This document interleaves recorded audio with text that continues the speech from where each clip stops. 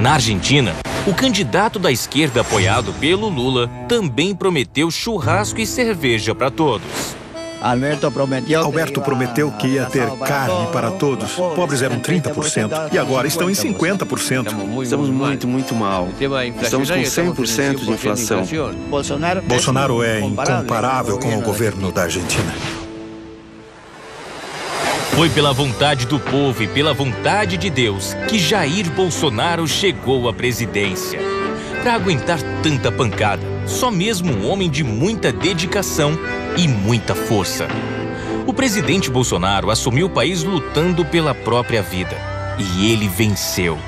Em seguida, teve que enfrentar o rombo deixado por 16 anos seguidos de descaso dos governos do PT de Lula e Dilma. Mas nosso presidente fechou o cerco, acabou com o desperdício do dinheiro público e com a mamata da corrupção. O presidente Bolsonaro também teve que lutar contra uma pandemia e foi o único que defendeu o trabalhador. Eu não vou fechar! Eu tenho minhas contas para pagar! Por causa disso, Bolsonaro foi perseguido pela imprensa. Mas hoje, todo mundo começa a entender que o presidente estava certo. Ele estava defendendo a liberdade e o sustento dos brasileiros.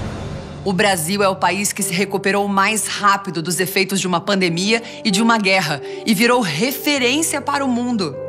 Fazer mais coisa do que ele foi impedido de fazer por causa da guerra, por causa da pandemia. As melhores propostas estão do lado do Bolsonaro. Agora, com o Senado forte, o Congresso forte, ninguém vai segurar o Brasil. É por isso que a turma que trabalhou com o Bolsonaro tem admiração por ele. Ele foi um grande anteparo, um grande escudo. Ele trazia a porrada toda para ele e deixava você trabalhar. E é por isso que ele consegue arrastar multidões, é por isso que ele tem o carisma que tem, é por isso que ele suportou tanta barra pesada. Eu tenho um orgulho enorme ter trabalhado com esse cara. Se no meio de uma pandemia e de uma guerra o presidente Bolsonaro conseguiu colocar o país em ordem, presta atenção no que ele vai poder fazer por você num segundo mandato. Bolsonaro vai zerar o imposto de renda para quem ganha até 6 mil reais. E para você sair do vermelho, ele vai ajudar a quitar suas dívidas e limpar seu nome. Diz aí, presidente. Você que deve, por exemplo, para a Caixa Econômica Federal. Sabemos que são 4 milhões de pessoas e 400 mil empresas. Se você tem uma dívida em outra instituição bancária, em outro banco, a Caixa pode comprar essa dívida tua e você vai pagar um juros bem menor. Bolsonaro vai aumentar o salário mínimo e o salário dos servidores públicos acima da inflação. As pensões e aposentadorias também serão reajustadas da mesma maneira. Nós arrumamos a casa. Os combustíveis caíram de preço. Os produtos de cesta básica também.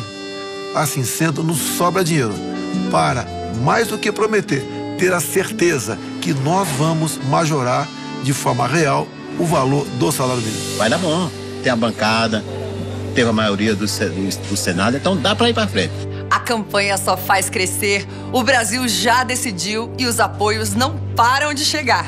Bolsonaro é o nosso presidente, eu tô com você, presidente. É, Bolsonaro reeleito, Brasil campeão e todo mundo feliz.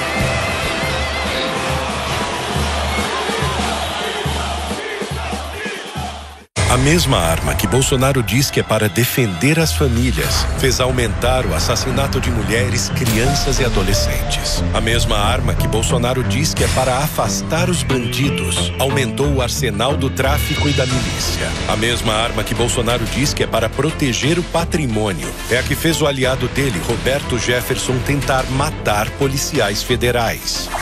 Dia 30, dê um basta nas armas e na violência. Bolsonaro nunca mais. Pela paz, pela democracia, pela esperança. Encontre o Brasil do futuro com Lula presidente. Qual é a sua proposta de governo em questão ao salário mínimo? A gente quer que o salário mínimo tenha aumento real todo ano para que a gente possa recuperar o padrão de consumo que o salário mínimo dava quando ele foi criado. É uma coisa que nós vamos assumir muita responsabilidade tentar resolver o problema da dívida de vocês. São 80 milhões de pessoas que estão com dívida ou no cartão de crédito ou no varejo. Gostaria de perguntar sobre o Auxílio Brasil, se vai continuar. 600 reais para cada pessoa, mais 150 reais por cada filho até seis anos de idade. Eu queria saber, no seu plano, como que a gente vai acabar com esse feminicídio contra nós. Olha, é um absurdo a violência contra a mulher. O que eu acho que você tem que fazer? Você tem que criar mais casa da mulher, tem que criar mais delegacia e é preciso educar mais os homens. Por isso nós vamos querer que a lei seja mais dura e que tenha mais proteção para a mulher. Qual será o foco da sua política de segurança pública?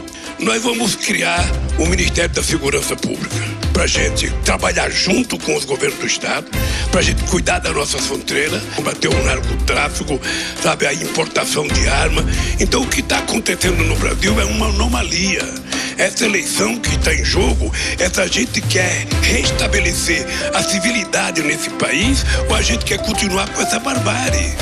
Se você quer ver um menino na televisão lendo um livro, ou se você quer ver com a metralhadora na mão. Apologia da arma não leva ninguém a lugar nenhum. A arma não educa, a arma mata. Então eu queria saber do senhor quais são os seus projetos para o ensino superior. Olha, primeiro vai voltar o ProUni com muito mais força, as cotas vão vir com muito mais força, o FIES vai vir com muito mais força e vai ter muito mais universidade federal nesse país. O Brasil nunca será um país competitivo se a gente não investir na educação. Eu acho que através da cultura e através do mercado de trabalho a gente tem chance de fazer com que a juventude brasileira tenha mais esperança. Não desanime nunca, cara. Eu, quando eu deixei a presidência, esse país era a sexta economia do mundo. O povo estava alegre, o povo estava comendo, fazendo churrasco, comprando carro, trocando geladeira, trocando fogão, trocando máquina de lavar, trocando máquina de lavar louça, trocando, sabe, tudo. Esse país andou para trás. Então, ao invés de eu desistir, eu falei, não, eu vou votar, cara, eu vou brigar. Nós já provamos que esse país pode ser melhor. Não dá ver o país afundar do jeito que está afundando. Quando eu vejo embaixo da ponte as pessoas dormindo, mulher com criança dormindo embaixo de uma ponte. Sabe, as pessoas com criança no colo pedindo comida. Esse país que é o terceiro produtor de alimento do mundo. Se você não se indignar com isso, você vai se indignar com o quê? Então, enquanto eu tiver força, cara, eu vou brigar.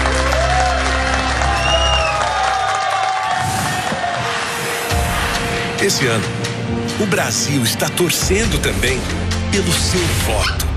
Seu voto pode acabar com a tristeza e o ódio que tomaram conta do país. Fazer um Brasil sem armas, de paz e oportunidades para as famílias. Vamos lá, falta pouco para a gente ser feliz. E o seu voto pode decidir tudo. Deixa a felicidade voltar. Dia 30, vote Lula 13. E vamos junto agora, Lula. Quero de novo ser feliz. Prego Nossa Senhora Aparecida que, protege, que protegga e cure al popolo brasiliano, che lo liberi dall'odio, dall'intolleranza e dalla violenza.